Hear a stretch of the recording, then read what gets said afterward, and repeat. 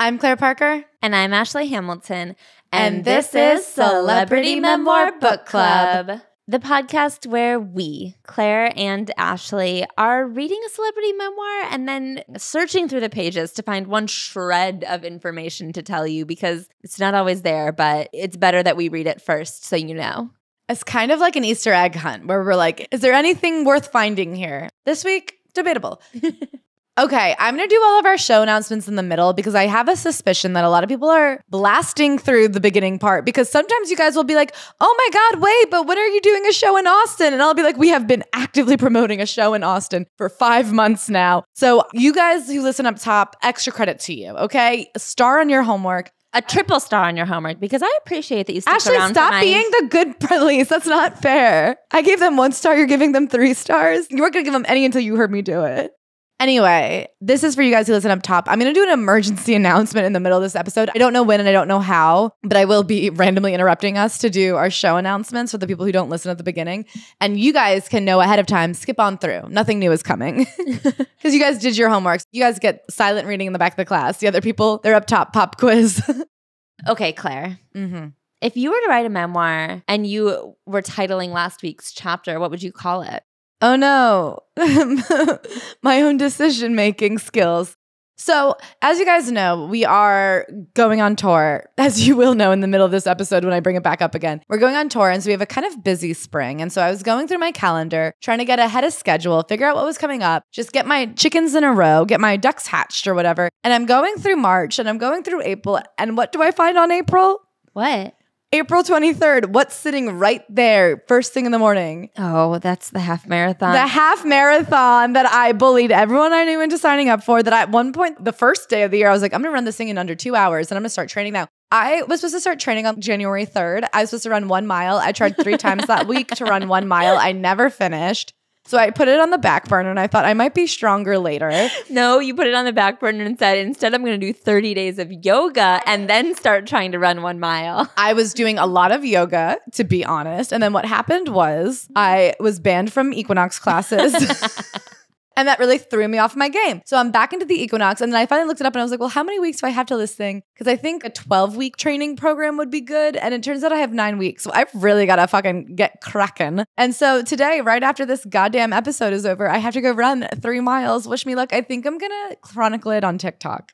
Great idea. Because the other crazy thing is a lot of this training is going to have to happen in cities other than my own because we're out of town for like four straight weeks. I will be jigging through the streets of Dublin and then walking stiffly through the streets of London.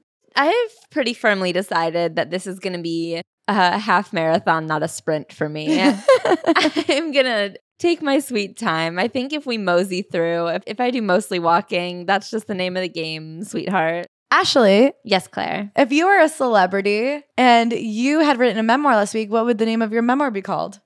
I would call it re strategizing because I'm also going out of town a lot this spring and I've been trying to do a lot of work to like get ahead. And the problem is every time I get ahead, I think, oh, how nice. Now I have plenty of time to relax. But I don't. I don't have time to relax this week. I'm meal prepped. I tried to like have a bunch of food ready for myself and then I ate most of it upon prepping. So I'm not that far ahead on my meals this book that we read for this week, I tried to read it on Saturday instead of the morning that we were going to record it. And I got way ahead. And then I finished after Claire because I was like, oh, I'm so far ahead that I can just relax. And I relaxed too long. There's so much that I've been doing to like get ahead. And then I forget that I'm not at the part that I needed to get ahead for yet. I really just need to re strategize. And that I think has been a real theme throughout my week and, dare I say, life. You guys, this week we read One Day It'll All Make Sense by Common. One day it'll all make sense. That's the name of his third album, right? So I guess that's kind of redundant. I mean, he loves that title. We'll get to it later, but he loves One Day It'll All Make Sense because this was the album title that he chose after he had to drop sense from his name. He was actually originally Common Sense, and he had to drop it down to Common because he got sued. So he made the album title One Day It'll All Make Sense. That way he could still keep common sense. That's probably the most interesting story from this whole book, and I spoiled it right up top. So he was born March 13th, 1972. He is 50 years old at present, but this book was written in 2011, at which point he was 39. And the only interesting part of this whole book, I have to say, is whenever they interview and bring in blurbs from his mother, and the forward is by her, Dr. Mahalia Ann Hines. And I have to say, If you're gonna read this book, just read the parts by her because that's the only part that's interesting. It's so funny. I just opened and she's like, "Have I always liked him? No." So his mom writes the intro and she talks about how she loves her son and she's very proud of him and she wasn't always so sure of his career choices. But now she's like, no, it worked out pretty good. It's very funny though, I will say, to be like, I did not think this was a good idea when there was no future in it. And then I did think it was a good idea once he was very successful. but even then, she still kind of questions it. So the way that this book is written is have you ever seen one of those people magazine like 10 fun facts you didn't know about me and they write the 10 most boring facts you've ever heard and it's like I actually love a chocolate milkshake for breakfast. I went to sleepaway camp for 12 years. I could do a backflip. My best friend I met at summer school. That is how this book goes. Basically, there's no narrative arc here, and it's not very interesting or compelling to read, but every chapter opens with a letter to somebody. And then the chapter kind of explains the next phase of his life. Yeah, and how the person he's writing a letter to had a large role during that phase of his life. Or not. Or not always. Sometimes it just starts with that letter. so it opens with a prologue. Dear reader, when I was 18 months old, my mother and I were kidnapped at gunpoint. My father held the gun. At least that's one side of the story. I will say that is both sides of the story. He goes, I first heard about it from my aunt. My mom told me one way, my dad told me another. But I can tell you both of the stories involve the dad kidnapping the mother and the 18 month old at gunpoint. So basically, what happened is his parents got divorced very early on. His dad struggled with a drug addiction and he would show up and demand to take the son. And he tried to drive across the country with them. And his mother was able to escape by essentially drugging him. She asked for Advil, and when he wasn't looking, dumped them all in a Coke. And when he started to feel off, they went to a motel. When he fell asleep, she was able to run down and have the cops called. Nobody ended up being charged. The father spent one night in jail, but then kind of got off scot free. But his mother got a restraining order against the dad, lived in Chicago with Common, and then Common's dad lived in Denver his whole life. In this intro, he goes into why he wrote this book. Do I have stories to tell? We never really land on anything. It seems like no. There are stories in his life that could yes. have been told. The way he writes is so uninteresting. It's so after school special. He like comes across like a real goody two shoes. I don't know. He's very cheesy in this book. First, I was reading it and I was just like, ugh, this is just boring. But by page 150, I was like, maybe this is annoying. And by the end, I was like, enough, Common. Why did you make me read this? So I do think that this book is boring. And I also think I would like to hear a lot of these stories from another perspective because I think that some of these stories start out interesting. And then whenever anything is too saucy, he just stops telling it. A lot of these stories just kind of end with no resolution, just as they're ramping up, and nothing ever really ramps. Like nothing really gathers too much tension, but every time there's a thread where you're like, oh, that could be a story, he talks about something else. So if you don't know, Common is considered a conscious rapper, which is like a subgenre of hip hop that it seems like every rapper also Yeah, we is. were Googling who else is a conscious rapper, and it was like Questlove, Talib Kweli, Kanye West, NWA, Jay Z, Kendrick Lamar, Anderson .Paak. Like, who isn't a conscious rapper then? The list was long. they said 50 Cent. At one point, they said Fort Minor. if you guys were in high school when I was in high school, there's a blast from the past. I will say the difference between Common and the other conscious rappers is that Common is obsessed with the fact that he is a conscious rapper. So I do wonder if part of that branding that he's chosen to pursue makes it so that he has to like soften the blow of any story. But how it comes across in the book is he's just like, so then this huge thing happened, and uh, at the end of the day, it didn't matter. And you're like, okay, well then why are you telling me?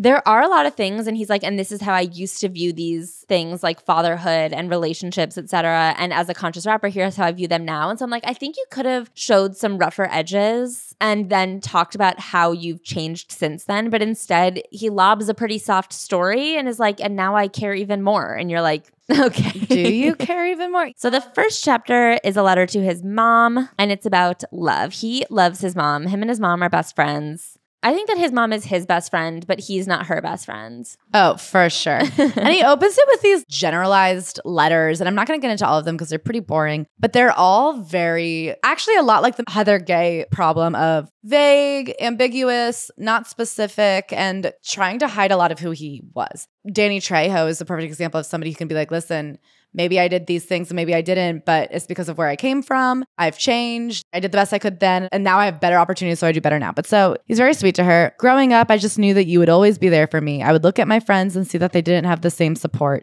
I saw how hard it was for them to not have a mother who could care the way you did. I knew then it was you who gave me a chance. I love getting to pray with you, Ma. Thank you so much for making me go to church, even when I tried to get out of it. Thank you for being my mother before you became my best friend. I often marvel at the strength of my mother's will. With all the responsibilities she had to take on, where did she find the strength to love so hard? Where does love like that come from? And then we get into his mom's first little insert, which again, his mom's inserts are the best part of this book. And I thought this was such a fascinating way to talk about raising children. Oh, by the way, his real name is Lonnie Rashid Lynn. He's named after his dad, Lonnie Lynn. Lonnie Lynn, who, interestingly enough, was six eight. Yeah, that is really interesting to me, actually. I think being six eight is hugely important. And he tried to be an NBA player. I think he got to play for one season, but he ended up addicted to drugs. Got dropped down to the ABA, the American Basketball Association, and then from there got dropped again because of his struggle with addiction, which obviously colored the relationship he had with his now ex-wife and son. But anyway, so they call Common Rashid. I wanted him to be the kind of boy that would be a joy to raise, not just for me, but for someone else if I was taken from him. And she talks about always having this fear that she would be taken away. I raised Rashid in a way that if anything ever happened to me, someone would say, I'll take that child. I wanted him to be well behaved, well groomed, and well nourished. So after she and Common were kidnapped when Rashid was 18 months old, she was then kidnapped by the dad a couple months later. That is just kind of skated over. They never really talk about that event, but I guess he came back for her. So she had this real fear inside of her that she was going to be taken away at any moment. And I think it's very interesting that she's like, no, he was going to be a good kid for anybody. It wasn't just our relationship. He had to stand on his own. I grew up on the south side of Chicago, 88th Street and Dorchester Avenues, 86th and Blackstone, 89th and Bennett, 87th and Stony Island, in a black middle class neighborhood rubbing up against poverty. You had hardworking families and plenty of kids, but then you had gangbangers too. That's just the culture in Chicago, I guess. It's a city of hustlers, legal and illegal. And he talks a lot about how he was raised in a black community and he's like honestly that's all i knew like there wasn't a sense of black kids versus white kids because everyone i knew was black you had black bankers and lawyers and business people, but you also had black bums and hustlers and junkies. You had my mother, who was a teacher, a businesswoman, and later a principal, and you had my uncle, who was struggling with addiction. The point is, never in my life did I think that being black would help or hinder me in a way that I couldn't address with hard work. It just was. So he was born in Chicago. He was born ugly. His mom talks about how ugly of a baby he was. No, his grandma did. His grandma went to see the baby and was like, Boy, you were the ugliest little baby, all red and scrawny with a patch of hair right up at the front of your head. And you know what? You've just gotten better and better every day. Praise God. it's so funny.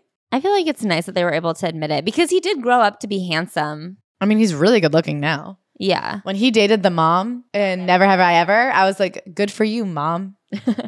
Anyway, so he never really spent time with his dad until he was 10 or 11 years old. And his mom just one day was like, You're going to Denver to see your dad. And he got on a plane with his cousin. They went to go see him. And he started spending short periods of time with his dad. And even though he was nervous about it because of the stories he'd been told and the fact that he just didn't know this guy at that point, they ended up being really important periods of growth for him and also where he really discovered music. His dad had quite a record collection and so he would listen to records with his dad and then he started asking like, "Hey, when I go back to Chicago, can I bring some of these records?" And then he just stole his dad's whole record collection basically in a cute way. Yeah, in a cute way. Sorry, I'm only going back to his mom's inserts because I just find them so much more interesting. She talks about how she raised him. I was a disciplinarian. I was strict because I had to be. It's not easy to discipline a child, but if you're a parent, that's your job.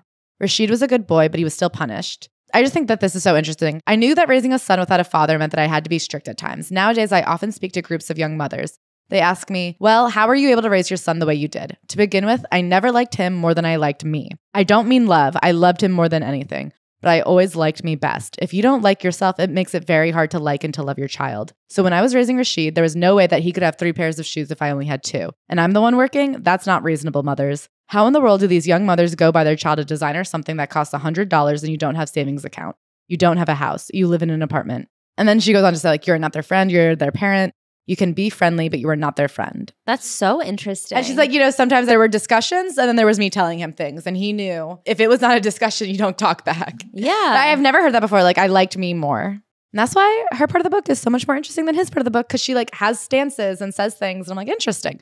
Meanwhile, he then tells some story about a bike that got stolen. His bike got stolen, and he said, I was disappointed, but I was most of all disappointed in myself for not standing up for something I believe in having a bike. All of the stories, you start out and you're like, okay, fine, we'll ramp up soon. But every story is, as I said, not part of some larger narrative arc. And that's why when people say, oh, Madison Beer's book is going to be good, she's lived through stuff, it's not about living through stuff. It's about having perspective on the stuff you lived through. And a book is different than individual stories you hear at a dinner party. It's about can you write a narrative? So, this other part of this chapter is, I think, not necessarily interesting, but does define something that could have been interesting, which is the way he views relationships. Mm-hmm. So he says that my father once told me, I think your mother loves me so much she hates me. Somehow that made perfect sense. For the longest time, I would measure how a woman felt about me, not just by the love they showed me, but also by how upset she would get at me. Pain was as good as pleasure. This feels a little armchair psychology of the selfish.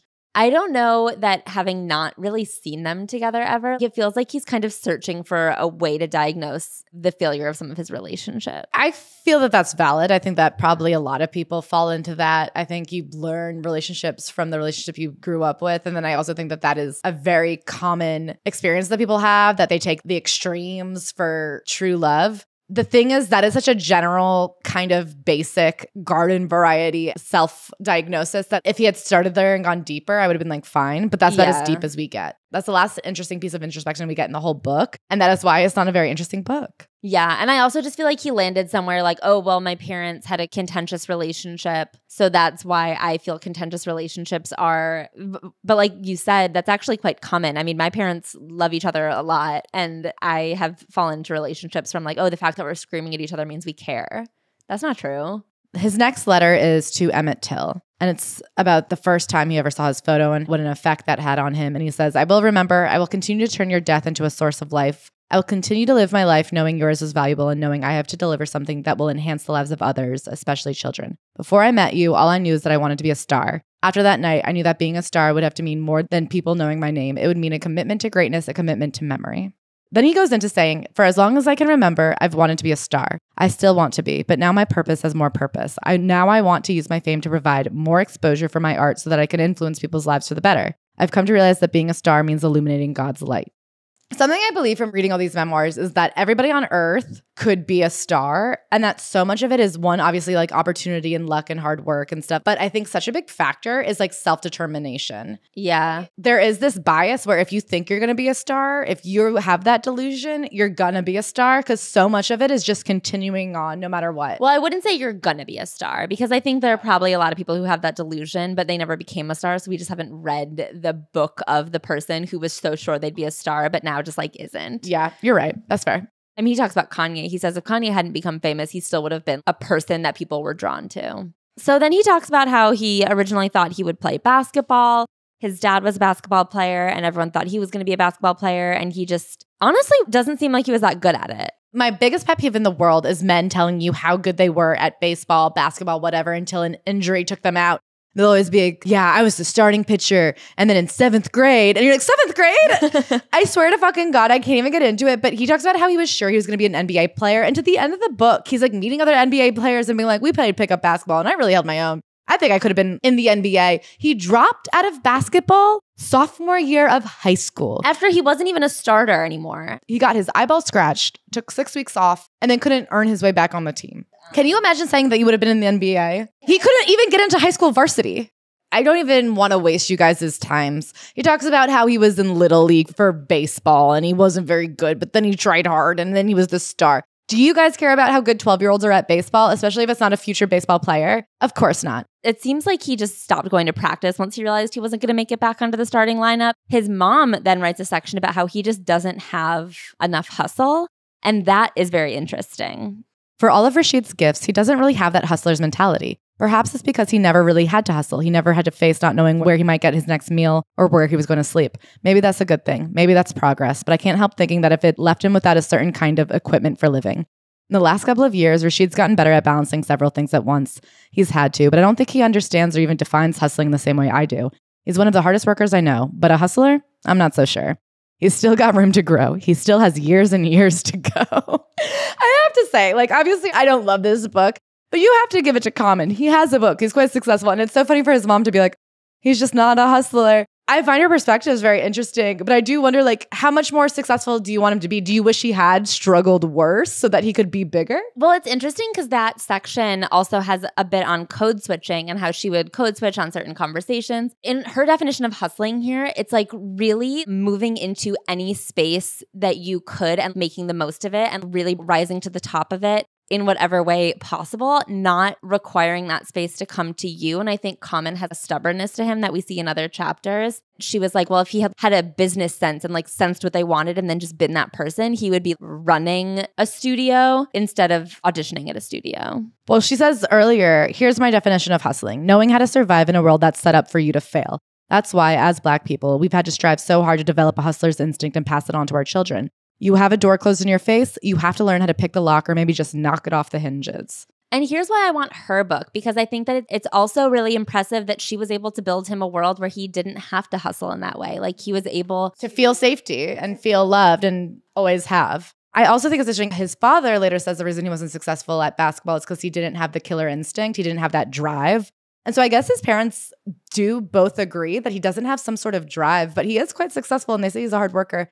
I mean, my dad used to say that about me. He used to be like, the reason you're not better at soccer is you have no fire in the belly. And it's fucking true. At the end of the day, I was always like, I don't know, man. I don't care that much about high school soccer. I'm not going to let it ruin my day.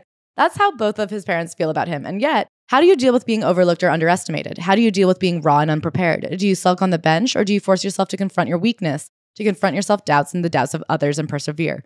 Time and time again in my life, I've had to face these situations, whether it was somebody in the music industry telling me that a conscious artist would never sell records, or a casting director telling me that I wasn't going to be any good as an actor. These are the moments that call upon your faith in God, and through God, in yourself, these are the moments when you gain your definition. He also talks about having a teacher saying, Rashid, stop being a bumbler all your life and do something great. And that was something that really stuck with him. So he was actually a towel boy for the Bulls. I guess he knew a ton of NBA players because his dad had grown up in Chicago playing basketball and had been one of the guys who was at the top. He says he was friends with Michael Jordan, but it seems like he just kind of fist bumped Michael Jordan on his way through the locker room every game. Mm-hmm. Anyway, so one day he's delivering towels from the visitors' room to the laundry room on the other side of the stadium. And this was when the Bulls were still at Chicago Stadium. And so he had to go through this underground tunnel in order to get the towels to the other side. And he says the ghost of Emmett Till was in that tunnel with him.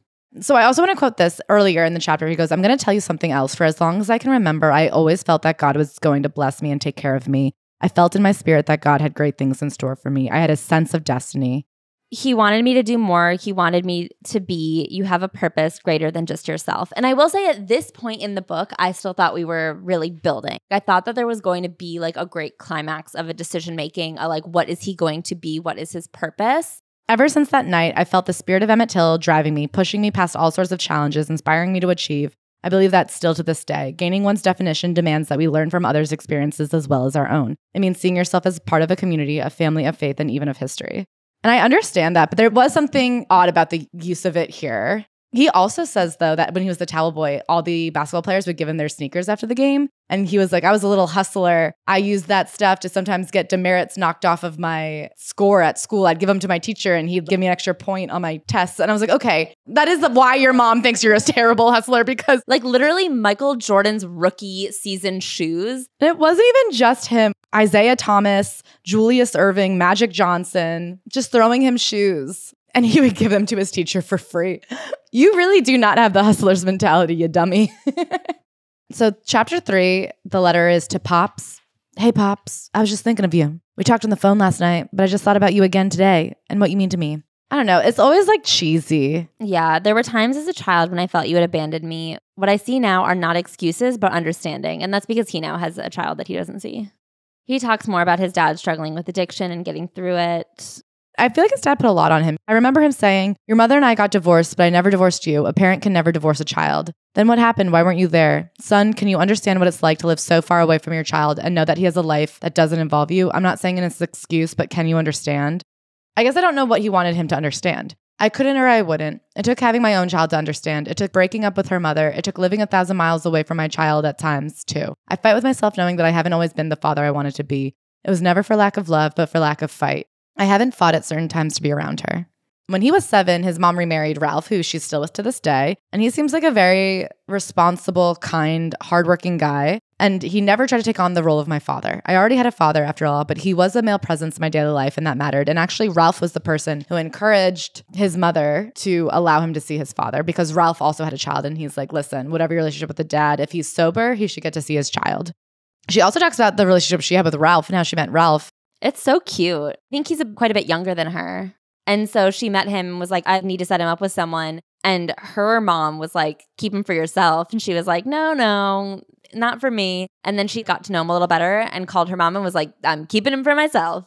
Growing up, he also used to spend a lot of time in Cincinnati, which is where his cousins were from. And that's where he first rapped something. He had a lot of formative experiences in Cincinnati. I feel like when you're younger and you go spend a summer with cousins, that's where all the memories happen. You could spend 11 months a year in Chicago and then you go to Cincinnati for a month, and like every formative experience you've ever had happens there. Yeah, especially being like the kid from Chicago. He would hang out with his cousins in Cincinnati and he had like a lot of street cred. That was a much cooler place to be from. And all the girls in town responded to that as well. It's also where he first started freestyling. He would freestyle for his friends and they all thought it was great. And then they would memorize the lyrics and say it back to him. And that kind of gave him a real high of like, look at the effect I'm having on people. He had some sexual experiences that I don't want to get into because they're kind of gross. Yeah. He goes, I've always loved women. My first crush was probably my babysitter, Cherie. I'd cuddle up to her whenever I could, maybe even try to sneak a touch. He talks about like getting a boner sleeping over at his house one time. And then another time, he kisses this girl who's his cousin's friend by kind of like blackmailing her. She walked in on him peeing by accident. And he was like, If you don't kiss me, I'm going to tell your mom. These are what I didn't want to get into. They're kind of. And then he's like, if you don't let me lay on top of you, I'm going to tell your mom. And so she lets him lay on top of him. And he kind of like dry humps her. And he's like, it didn't feel that good, but I knew it's what I wanted to be doing so I could brag about it. And then he tries to say, now you have to let my cousin do it too. And she's like, no. I don't know why he told this story. I like don't understand. Does he see it as cute? I don't it know. made me feel uncomfortable. And here's what I want to say before we get into this. I don't think Common treats women worse than any other man that we've read. He actually probably treats them better. A lot of the men we've read are like actual rapists. And I don't know that much about him, but none of this was like worse than anything else. But his whole thing is how well he treats women and the way he talks about them. You start out being kind of like, uh, okay. And then by the end, you're like, enough. Thou doth shout it out too much. I just don't know where there's an example of respect. He's like, I respect women so much that I fuck four or five of them a week. And I'm like, oh, yes. Yeah, I will say this one story was so funny to me. He talked about him and his friend thought that like the planetarium was a really good place to talk to girls, the Adler Planetarium in Chicago. So him and his friend would go there after school every day and then they would just like chat with girls. They're on school trips. But like there weren't always new girls at the planetarium. So like while they were waiting for a new girl to walk in, they would just read the exhibits and like walk through the exhibits. And he's like, I ended up learning a lot about space. Yeah, so that was a cute, funny story. But then he was also telling about like the first time he ever fingered a girl when he was 12. I know what a vagina feels like. I don't need you to explain that it was like mushy and gushy and weird. I just like don't know what we were supposed to get out of that story. My attitude towards girls at that point was pretty simple. They were lips to kiss, shapes to touch, mysteries to solve. I was driven by physical desires that I only vaguely understood.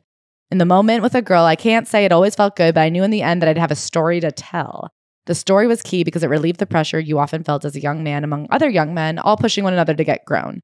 Listen, I know that that is the truth. I know that like 14 year old boys are gross and hooking up with girls and kissing and telling. But like as a man, why did you write that? Or why did you write it with no shame or like, ah, I cringe now, but back then I thought that was what it took to be a man? I don't know. There's no kind of couching it in I know better now language. And so when he comes back to school, he had carried with him this love for freestyle rapping. And so he was rapping at school all the time. And that started becoming his thing. That's how he was known. He was known as the guy who was always like freestyle rapping, which is personally never the person I like the most, but I guess it was a hit here. And it's interesting because two of his friends from school, Derek and Dion, they all work together to this day. Derek is still his manager. Dion is still producing. Dion goes by No I.D., which is Dion backwards, which I love actually. I actually did uh, not even realize that. God did not give me ability to read backwards. Well, actually, no, uh, you're not creative because if you were creative, you would have realized that Ashley, if you rearrange the letters, is Halsey. is I know Halsey, that. and our studio is actually off the Halsey stop, so you could have become an online artist known as Halsey. Should I change it right now? Yeah, try going by Halsey the comedian. no, not that Halsey, a different one.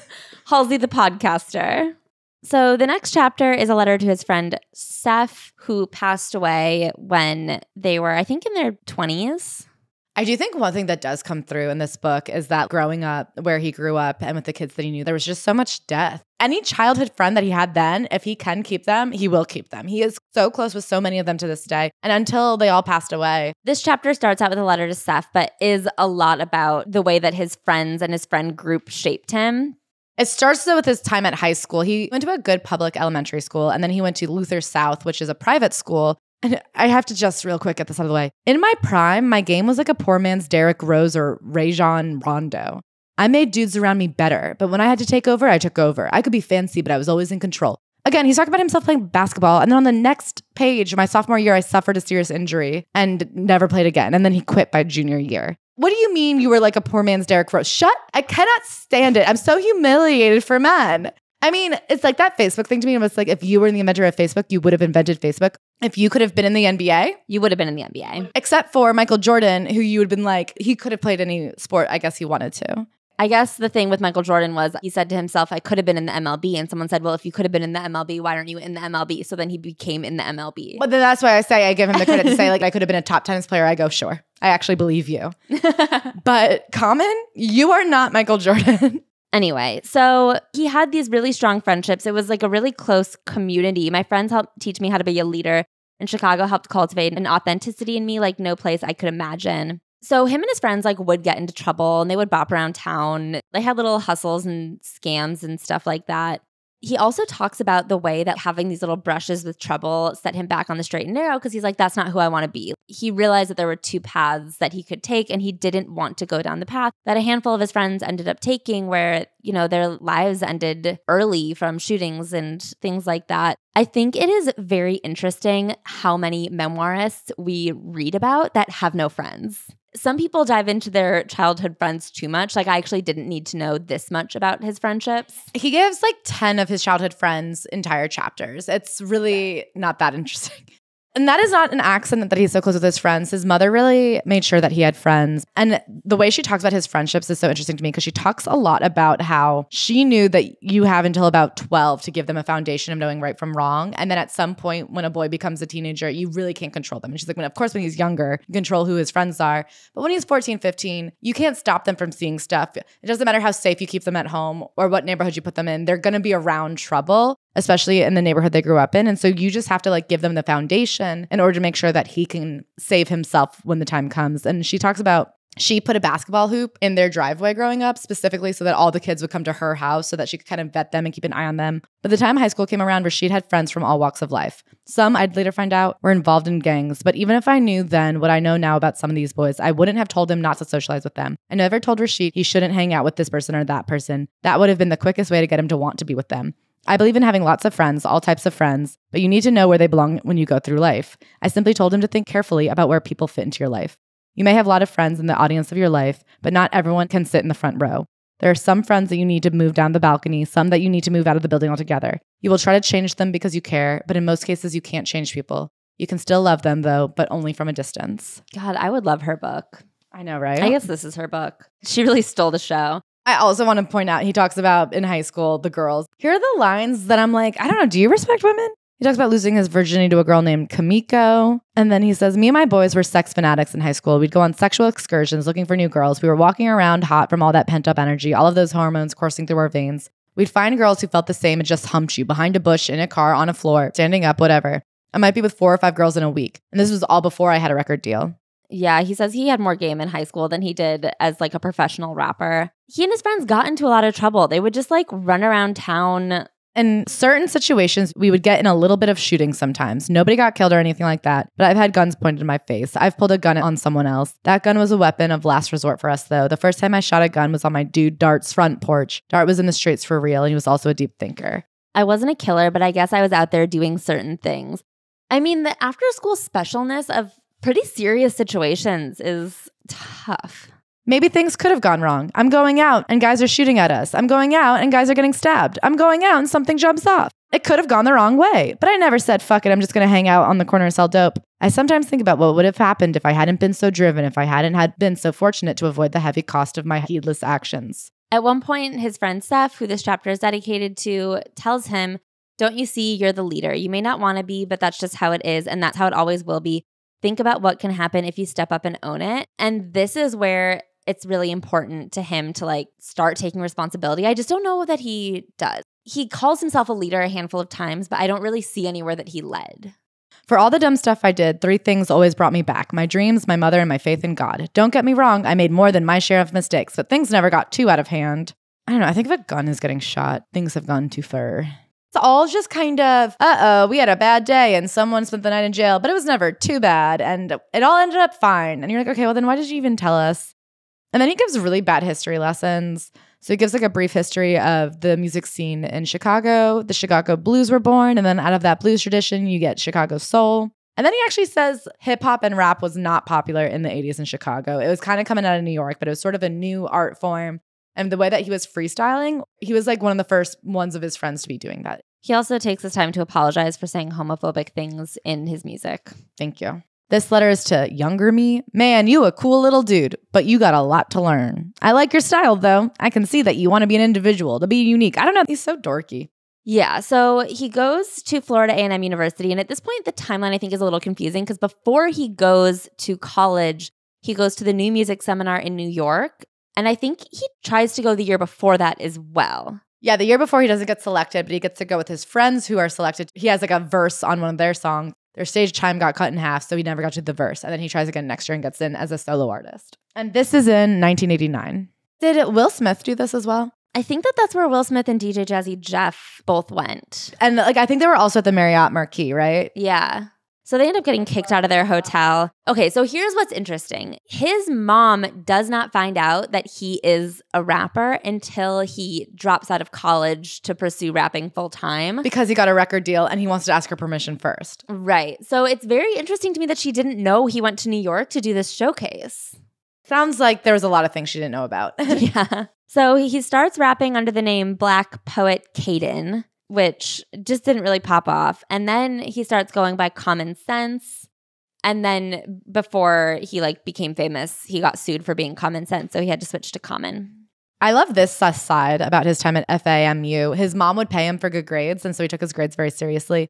Every day, I set aside a three hour period just for homework, no matter what else was going on. I'd be at my desk for those three hours and make sure all my work was done. And if his mom called, he wouldn't answer. And one time, his friend Dion brought hot girls over, and he was like, they can wait till homework time is over. He's such a dork. But he got straight A's. And this is wild. So Dion was back in Chicago making beats and they were friends. Dion would do the producing and Common would do the rapping. And when he went to college, Dion would record his beats to the outgoing message on his answering machine. I'd call in and compose my raps like that. Of course, I'd have to keep calling back over and over again so I could hear the track. It wasn't a perfect system, but it worked. That's how I composed A Penny for My Thoughts. That's so cute and old school. It's so cute. I can't believe it. I thought he was going to say they would like mail tapes back and forth. And I was like, well, I guess this is. That would have made more sense, maybe. Faster. Is it? I don't know. He also makes a big point about never writing down his raps. He would just like listen to a beat and then go in and record something. So it seems like things just kind of were taking off. He was doing little gigs here and there. He would do showcases, and at showcases, somebody would see him and they liked him. Things used to work the way they should work. Now it's so much more confusing, but I feel like back in the day, there'd be an industry showcase and there'd actually be industry there, which is not true today. If anybody says I have an industry showcase for you, that is a guaranteed way to make sure you're performing for waitresses. do not pay to do an industry showcase. Even if you're selected for an industry showcase, you're not even paying for it. They're flying you out. There will not be industry there. I'm pretty sure that industry doesn't even go to new faces at JFL anymore. So he does this competition Unsigned Hype and he gets discovered. Unsigned Hype had launched Notorious B.I.G. and Mobb Deep. They wanted to do a mixtape with Relativity Records that they were going to have him on. And they were like, do you know what? Let's actually just have you do a tape, not a group mixtape. And then that kind of fell through. But before he was allowed to do it, he had to go ask his mom. And she says, I was so disappointed, but more than that, I was confused. A record deal, a rap career? No one believes me when I say this, but I never knew Rashid was into rap.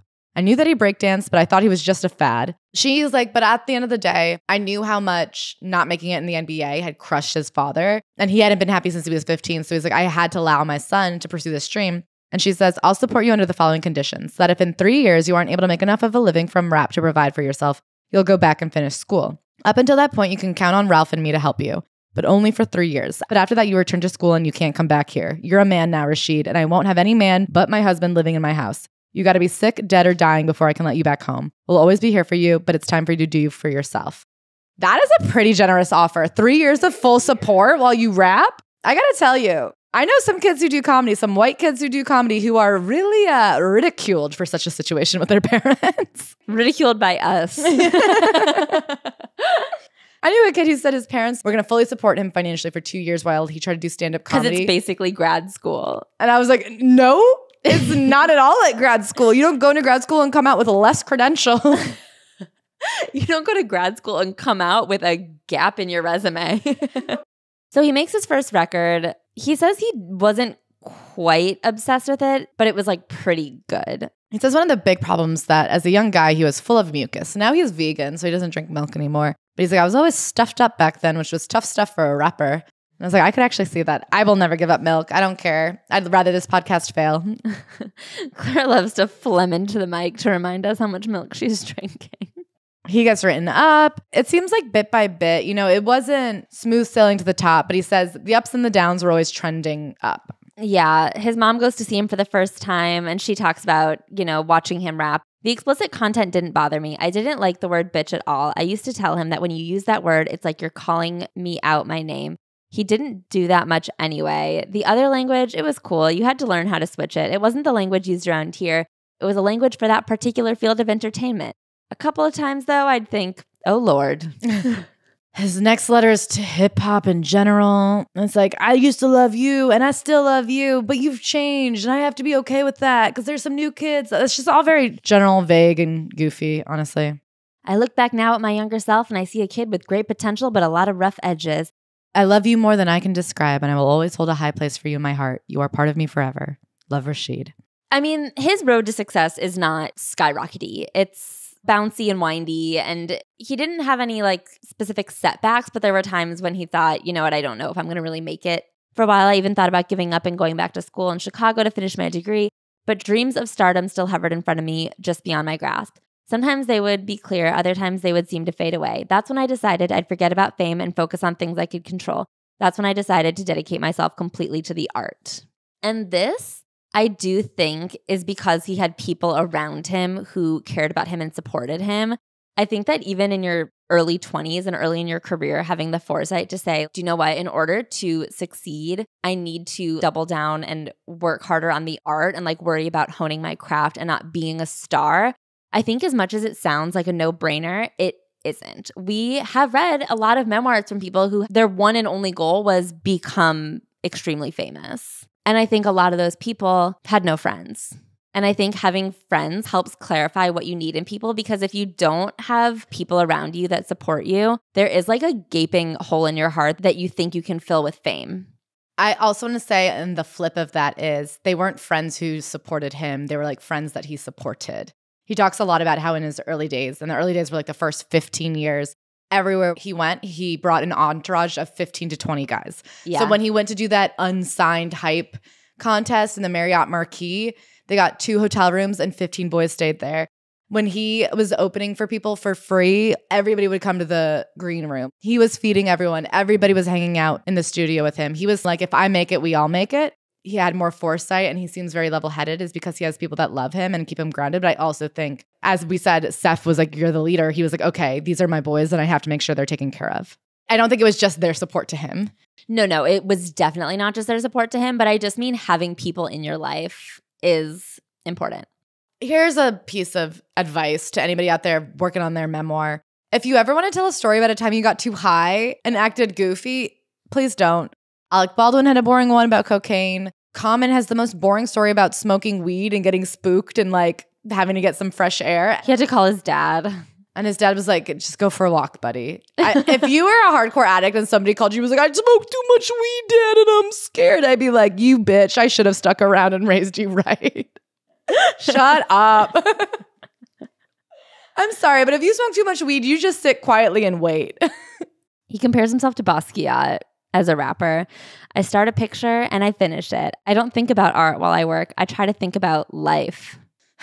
and then, yeah, he's like, I never write down my raps. I work so hard on them. I'm like, all right, good for you, buddy. He says a lot of people go into the studio and they'll spit it once and be like, all right, first take, done. He's like, not me. I like to do it a hundred times. I wonder if a biographer would have spoken of his pretty privilege. I feel like there's like a real element missing, and I think it is that he's just like a good looking dude. I also think that a, a conversation on colorism might have been an interesting thing for him to speak on, but this isn't like a particularly deep book. Okay, so in the song I Used to Love Her, which is one of his big hits and an ode to hip hop, there is a lyric where he says, Then she broke to the West Coast and that was cool. In my mind, it was purely descriptive. I was talking about hip hop's life cycle and how the West Coast had really taken over by the early 1990s. So I guess Ice Cube took offense to it. I don't even get it. And I mean, there is East Coast versus West Coast rap, but he's like, I wasn't even in the East Coast versus West Coast because I was Chicago. So I like don't even know how I was in this fight. Ice Cube heard my song different and he put out a diss track.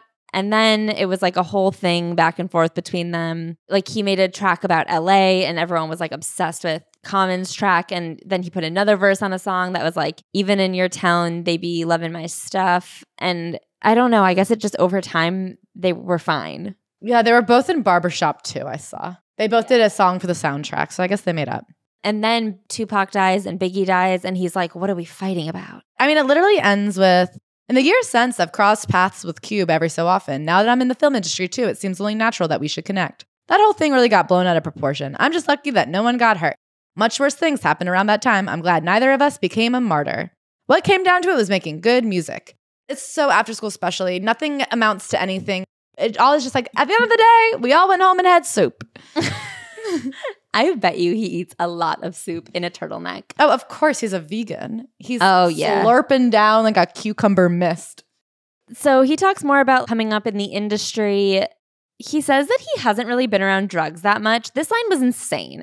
Since I've been in Hollywood, I've had friends and family members ask me about the celebrity drug culture in entertainment. To be honest, I don't see it. I know it exists, but it's not something people bring around me. What? Are you ever leaving your house? I don't do really drugs. And the amount of people that have like brought coke around me when I lived in LA and even here, I'm just like, there's a lot of drugs that I see constantly. If you don't think your friends are doing drugs, you're the drug doer. he's just made of cocaine and he has no idea. I guess I'm just like, what do you mean you don't see it? You are lying. It's 1995. He talks about the OJ Simpson trial and the Million Man March.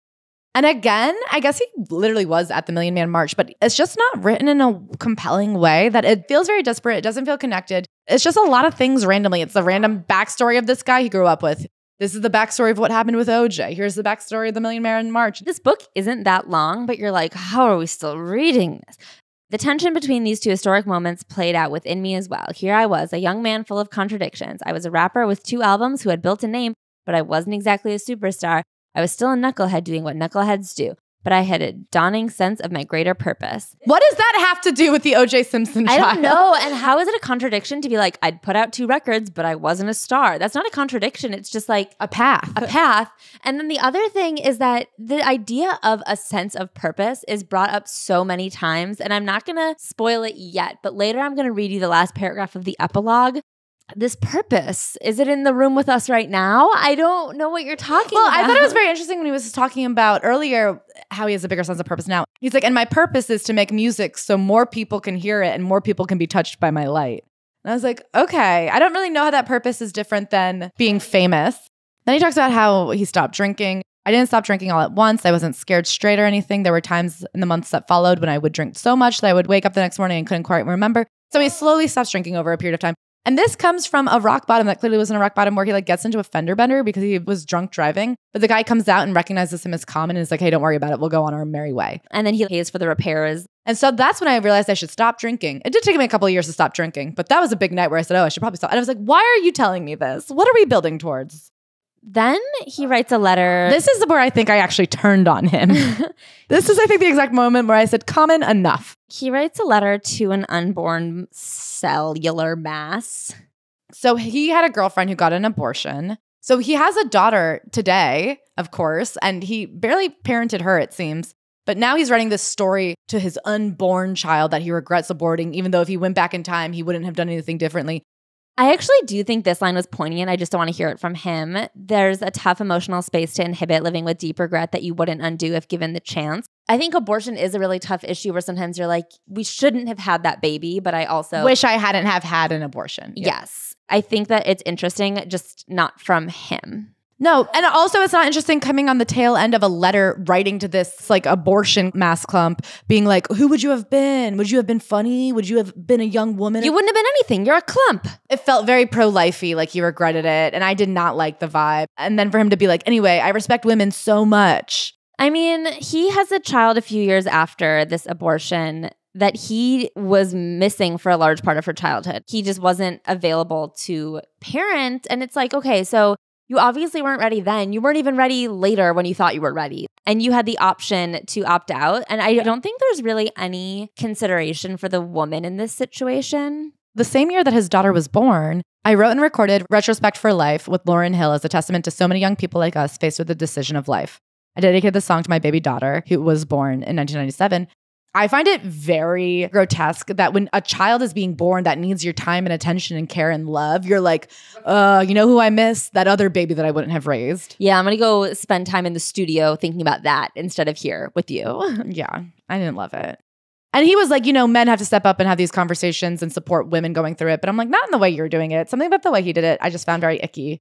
So at one point, Kim, the woman that he has a child with, moves to Washington, D.C. and does not leave her address. Like this relationship was much more contentious than he's letting us believe. You do not leave with a child and not say where you're going.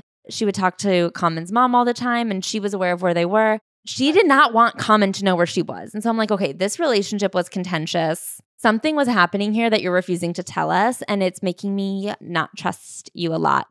It's a challenge, though, to be there even when I'm not. For most of Omoye's life, I've been on the road, whether touring or more recently making movies. No matter how far apart we are, she's still the first thing on my mind in the morning and the last thing at night. We have a bond that doesn't care about distance. There's so little in this book that it's hard to really get to know Common, but it did sort of clarify a lot of things from other books for me. And it is men's ability to forgive themselves. Yes. It's so fascinating. The reason it all feels so like light and done and dusted is because they've said, This is my past. I forgive me for it. Regardless of who else was involved, I've come to terms with the person I was and the person I am now. And you're like, Okay, but who was that person really? Because I know the version of you that now exists post forgiveness of yourself, and that's who we're reading. What really happened? Having a daughter has made me understand people better, particularly women. I began to consider and question how any woman I was dealing with might have been raised. Did she have a father in her life? What was she missing? What helped her move forward? Think about all that makes me want to make sure that I give all that I can to my daughter. Not your presence, not your attention. I don't like that he's like, wow, did you have a dad growing up? Because my daughter doesn't. he loves to talk about what a good person he is. This is another story that I find surprisingly honest in that it's not flattering. He's talking about a show. They went to a hotel afterwards. They had a party at their hotel and they invited a ton of girls to the party. And then a guy shows up with two of the girls that were invited and they're like, oh, no, you're not invited. And he's like, no, I came with these girls. And he's like, yeah, the girls are invited. You're a boy. You're not invited. So he is like, okay, well, this is whack. I hate it here.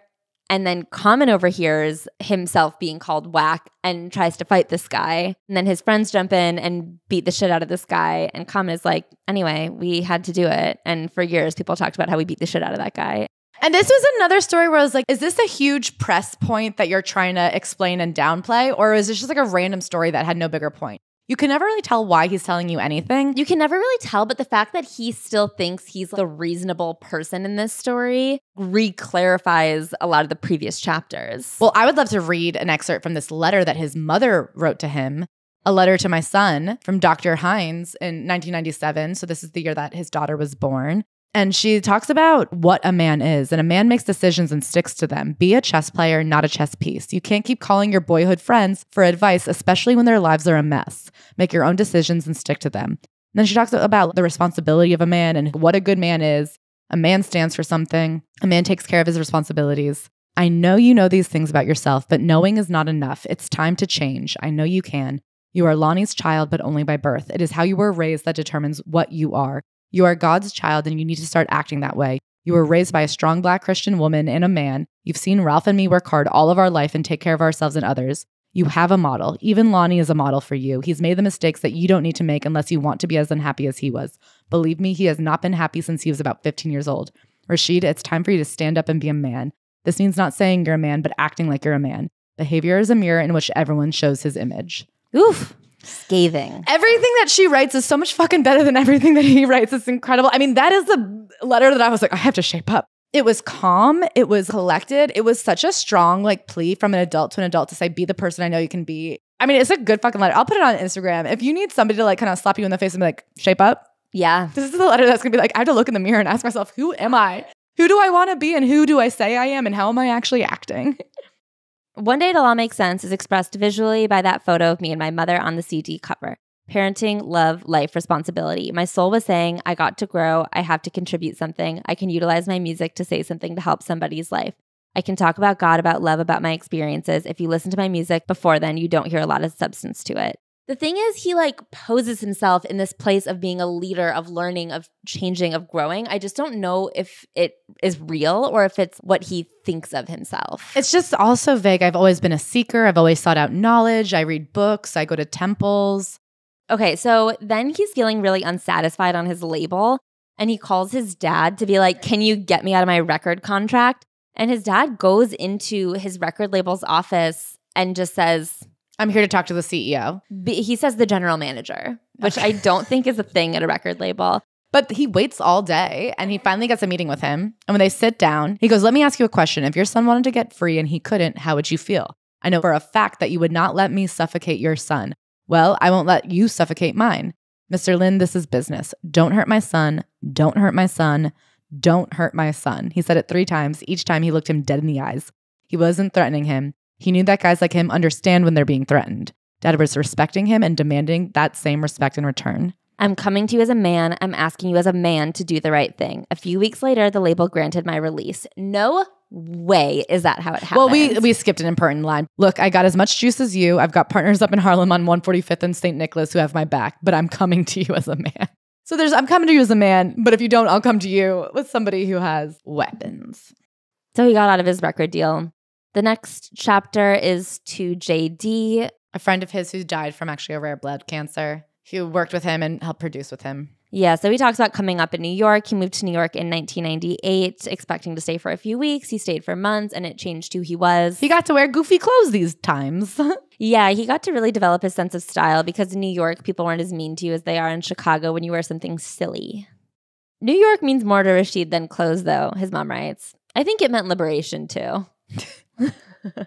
So then he talks about his friend JD, who was a genius. He talks about recording his albums, and he was in the same studios, D'Angelo and Questlove, and that is a great lineup. And he was like, it was a lot of hanging out and collaborating. They called themselves the Soulquarians because the other two were Aquarians.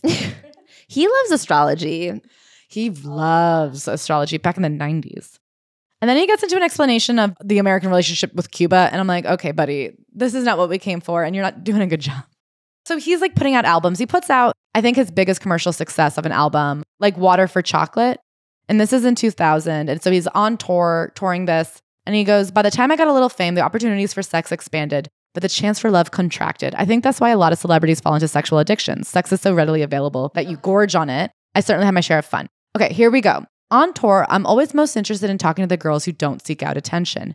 My people know this. If a crew of girls comes backstage, my guy will pick out the one who's most likely to get overlooked, the one who's to this or to that. Maybe it's the sister who's been waiting forever to meet me, who may not be considered conventionally beautiful. That's the one I want to see. I see the inner beauty in all women. When women come backstage, I treat them with respect. Most of them only want to talk. They might think they want something more, but in the end, the best thing that can come is a little human connection. Okay, I love the idea of treating women with respect by sending out your henchmen to go pick out the ugliest one and do her a favor. You don't have to sit here and pat yourself on the back for being respectful and being like, anyway, when I fuck a groupie, it's one with a funny mole.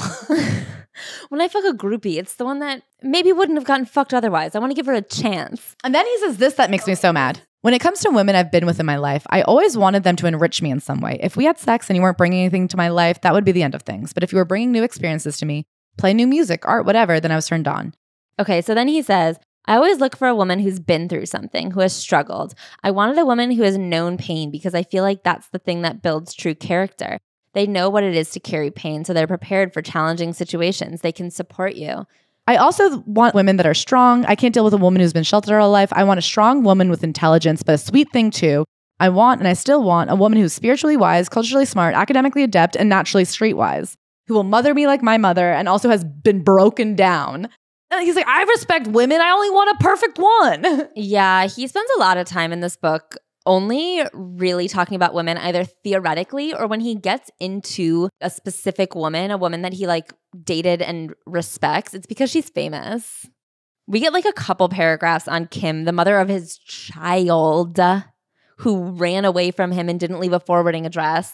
And then the next chapter is a letter to the love of his life, Erykah Badu, which Good choice. I mean, if you're only going to love one, it should be Erykah she's Badu. the love of a lot of people's lives, I think. so you were the first woman I had ever been in love with as an adult. we met when you were pregnant at the same time as Kim. That's when they met. They met because they all bonded because she was with Andre 3000 and she was pregnant at the same time as Common's baby mama. And I'm just like, that is a funny time to be falling in love with somebody else who is not the mother of your child. Yeah, I also think that honestly, even if this is true, it's just kind of a mean thing to write when you have a baby with somebody. Me too. This is not a particularly open and honest and call outy book. Not everything needed to be said. If he was going to really wrestle with these emotions of what it was like to be expecting a child and like preparing to make a family with one person and then falling in love with someone else, sure. But instead, he just kind of disregards that he was even in a relationship. So then he talks about getting together with Erykah Badu. So they get together in the wake of her breaking up with Andre 3000. He's like, a lot of people thought that was sketchy, but I just happened to be there for her when she called. And then he's like, I really didn't like that. His face was all over her apartment though. So her house was covered in, you know, pictures of the father of her baby, Seven. But he loved her. I had never loved anybody as much as I loved her. The way I love is so deep and uninhibited that I have a tendency to lose perspective. Okay, so here's something that I find to just be not reflective. Erykah was my first grown up love. Loving her was the first time I'd ever been so caught up in the relationship that everything else seemed muffled and dimmed. This actually does not sound like adult love to me. It sounds like teenage love. I think adult love is being able to love someone and also maintaining a sense of self. And then four months in, he proposes to her. The thing is, none of his friends really like her. He moves down to Dallas to be with her. He goes vegan to be with her. And everyone's like, dude, you're like losing yourself. And he even says that if he had to go into the studio and record an album and she was like, no, you have to clean up the house, he's like, I was just cleaning up the house because she had asked me to. And I'm like, that's kind of funny. Yeah. For all that was good about our relationship, there was a lot that was difficult. Maybe I should have seen the signs. I loved Erykah so hard I didn't have any love left for myself. And then he starts kind of trying to reestablish his own life. And as soon as he does that, she's like, Oh, I love someone else now. Bye. she literally calls him in a hotel and is like, sorry, I've moved on. I don't like you anymore. He could hear her with her new boyfriend in the background. But I want to read what his mom said. That time with Erykah was interesting. I think that was truly his first love. She invited us all out to Dallas once. She wanted our family to come meet her family. I really liked Erykah. Even though his little heart got broken, she was sort of responsible for teaching him, particularly about his health. They were strictly vegans. I said, Lord, he was walking in them sandals wearing smocks. something because like all of his friends made fun of him for like wearing dresses and Mew Mews and that like whatever that made me chuckle. But something about the word smocks, like a preschool teacher. Whenever his mom writes, Oh Lord, it makes me laugh. They're still in touch. She's still in touch with Erykah. Yeah. She goes, That was part of the problem. Rashid probably would have been a good person for her, but she was so lost herself at that time. That was part of the problem. I'm never shocked by what Erykah does. She's a person who's brave, and bravery sometimes can look like foolhardiness. When I was with Erykah, I held myself back. Something magical happened after we broke up. Out of my grief at losing the relationship, I found a way to reshape myself as a man. I started owning my excellence and the recognition that came with it. It helped that Kanye was around at the time because his confidence bolstered mine. Seeing someone so uninhibited about his art was an inspiration.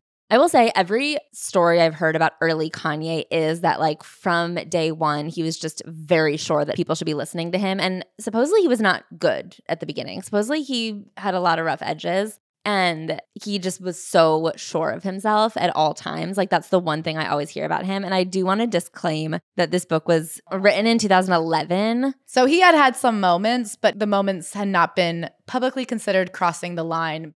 The people I look up to the most Nelson Mandela, Muhammad Ali, Barack Obama, Harry Belafonte they're all what I call humble kings. They wear their greatness like Jesus wore it. Jesus knew that he was the Son of God, the Messiah, but he still kept his humility. So many of the greats carry themselves as humble kings and queens.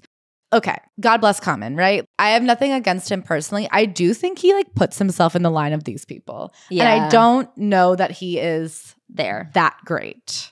I do think he sees himself as being like Nelson Mandela, Muhammad Ali, Common.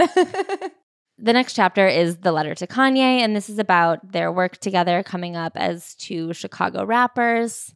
this is so funny. So he starts it off saying, I always loved that story about the prince who trades places with the pauper. He exchanges his robe for rags. He leaves the palace for a shock. He lives life down on the ground. Then at the end, when he resumes his rightful place in the kingdom, he's better and wiser for his experiences and his struggles. In 2000, I was a prince in the rap game. And then he talks about getting into acting as being like his time as a popper so that he can, I guess, return back to the top and be a better ruler. I'm just like, oh, okay. Yeah. The thing about him having humility, I don't know that I see it. He really does think he's Michael Jordan. I love what it takes to achieve great things. I'm not afraid to work for it. I thrive on the slow progress born of struggle. Those are vital aspects of what motivates my life and gives me a sense of purpose. I've always thought of myself as an artist first and foremost, and an artist creates beautiful things regardless of the art form. What's to say that I can't become a painter or a sculptor or a pianist if I haven't tried? Who's to say that I couldn't make myself into an actor? I just think that those are really different things. Yeah, I mean, nobody's to say it, but good luck. Go for it. Try it out. So he does. He auditions. His first audition goes poorly, and then he gives it his all, and he gets the role in Smokin' Aces. He has a hard time finding roles that appeal to him. He has really great conversations with Denzel Washington and Morgan Freeman, who both taught him stuff. Denzel taught him, you have to like trust yourself, man. You know how to read these lines better than whoever wrote them. You know how we would say this. So say it like that. We doing something that's expressing something we express as black people. So you'll know how to say it better than any screenwriter can tell you. And then Morgan Freeman gave him the, advice of don't try so hard. You have to like live in the scene. I know you've studied these lines, but you can't try to do them as good as you did them alone in your room. You have to exist in the moment. He also is obsessed with Angelina Jolie. She's the realest person I've ever met in any industry. And then he talks about how great Queen Latifah was, who gave him his first real opportunity as like a leading man. And this made me realize I would love an updated Queen Latifah. Book. Yeah, so I looked into it. Queen Latifah has a memoir that came out in 1998. So let me know in the comments if you would like that or if we're waiting for her to do a new one. Because I feel like if she did a first one, she'll do a second one. 1998, that's pretty old. That's 25 years old. I just don't know if we would get any of the references at this point. I feel like I'm a better actor when there's some drama. I'm better with some weight. Then, too, I don't like playing the good guy because I play the good guy every day in real life. He's such a good guy. He's such a good guy. Remember when he fucked the ugly girls at the concert? Can I say this is one of my pet peeves from people who are medium okay at acting is when they're like, I just do better when there's drama. And it's like, okay, then that means you're not that good at acting. Being like, oh, I need meat in the scene in order to act it good. A good actor can act lots of things good. Okay, so his mom has to say he needs to grow in all areas as an actor. I want him to be able to do comedy, drama, action, gangster roles. I think he's going to become good at dramatic roles. The biggest thing with Rashid is that God has given him some gifts. He says it, but he doesn't really believe it. Not yet. I think he's more than what he thinks he is, and I don't think he thinks it yet. I guess that's better than the opposite. I want him to stay the way he is, stay humble. But then it's just so funny for her to be like, mm, you'll get there. He starts dating Taraji P. Henson, our fave. It just didn't really work out, though. I think it was over before it began. Taraji was his mom's favorite girlfriend, though. Taraji was the one I truly, truly loved. I never even told Rashid until after they'd already broken up. I knew from the start that he wouldn't stay with Taraji. It was because he was going through a career change. His friend was dying of a rare blood disease. It just was not really a good time. He was still heartbroken over Erykah Badu. He talks about meeting Kanye. Kanye was cocky as hell, but you had to love him. He could be like a mosquito in your ear, though, straight get on your nerves. My guys used to come to the studio and Kanye would be talking nonstop. We got to beat his tail, they'd say. Nah, cool out. He's good. It's just interesting to see how far Kanye has come is amazing and great for the Chi. It's great for all of us. Yes, he's found himself in the middle of controversy, but it's no different from what he used to do in Dion's basement. It's just now that the spotlights are on. I may not agree with everything he does, but I support him unconditionally and love him. Okay, so where it gets interesting, of course, is when his mom tells her side of the story because she became very good friends with Donda. Donda West. They were best friends. It was so sad when she passed. We talked a lot before she had the surgery. I did not want her to do it. She didn't need to do it. She was beautiful. She was smart. I told her one time, why don't you come back from LA? And she talks really about how she thinks LA kind of like. She wouldn't have wanted plastic surgery if she didn't live out in LA. I try to stay in touch with Kanye too, but he's sort of hard to reach sometimes. He's just hurting. He's a much better person than he's been portrayed to be. You can't even begin to know. That boy's heart is so good, but he's just hurting. He never faced her death. He ran from it. He was in Europe when she died, and as soon as the funeral was over, he went back. Kanye has always been the type of person to say what he thinks. I don't judge him. As a matter of fact, I defend him. Okay, so then this next chapter is to his daughter, Omoye. I think one of the hardest things I've experienced is finding a way to balance my dreams with yours. I know I can be selfish because my dreams mean so much to me. I figure that once I attain my goals, I can take care of all my loved ones. But of course, there's no end, there's no stopping place. That's why I have to find the balance. You do have to find the balance, but now she's grown. He tells this weird story about crashing Oprah by accident. He thought Jamie Foxx invited him, and it turned out no one knew he was coming, but then Jamie Foxx still get him on TV. And he talks about some great trips he went on, which is always like, okay, buddy, we could wrap it up before we get to the listicles. Next to Cuba, I went to China. Okay, the Great Wall of China. He thought it was incredible. There you go. One more five star review. He takes a quick moment to shit on reality stars. He's like, that's not fame. And then it turns out at this point he was dating Serena, Serena Williams. And he talks about all the nice things he does for her, like buy her flowers and get her shoes she likes. They love the song Bubbly by Colbie Caillat, which is goofy to me. Yeah, this is my vision of marriage. It's the love that you share with another that enhances you both. You can become better students of God and children of the Lord. You can become better yous. I always forget that Serena Williams is a Jehovah's Witness. Me too. He's like, I got to learn more about that to find out what she'll be telling our kids. I'm like, yeah, look into it. also don't because I don't think you guys stick together much longer. And then he says this I love this chapter because it makes me think about having all of those things all the faith, all the hope, but with love still being the most important thing. Every time I read the passage, I understand something new within it. Spending time with my daughter, being in a loving relationship, being in nature, all those things are worthy of love. Then it ends with Recently, I asked Omoye, What's the one thing that daddy said that he taught you that you remember the most? To be respectful, she said. She used to tell my mother that the reason she gives money to homeless people is that she's seen me do it all the time. I wanted to show her that it's a good to give. To be able to give is a beautiful thing. I wanted to know that. Omoye tells me I'm a good daddy. You treat people nice. More than anything, she's learned from me that treating people with respect is important. He loves to prop himself up. When he first got a record deal, him and his friends all jumped in the car to go somewhere else and he rode in the hatchback.